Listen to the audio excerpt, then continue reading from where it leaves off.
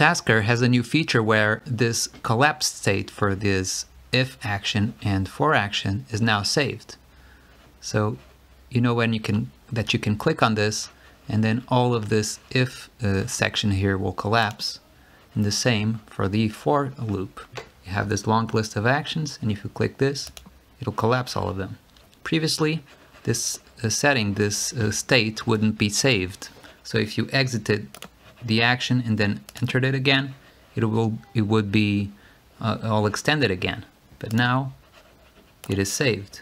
You can expand, uh, collapse one or collapse the other or collapse both and it'll always save the state that you left it in. So if you go out of the task and edit it again, the state will remain as before.